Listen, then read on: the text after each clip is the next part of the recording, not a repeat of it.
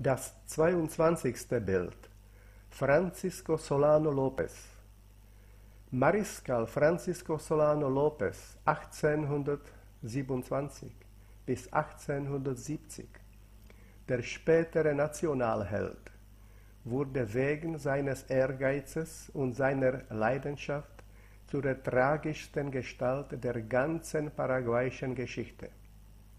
Bis heute wird sein Tun sehr kontrovers betrachtet. Tatsache aber ist, dass er seine weitsichtigen Ambitionen mit Ehrgeiz und Nachdruck für das Wohl des Landes realisieren wollte.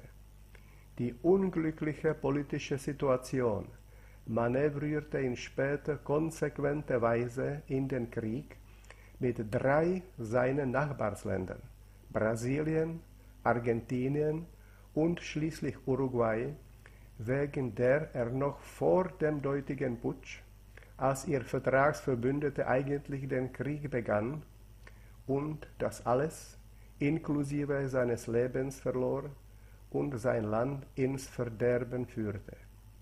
Doch wir sind noch nicht so weit.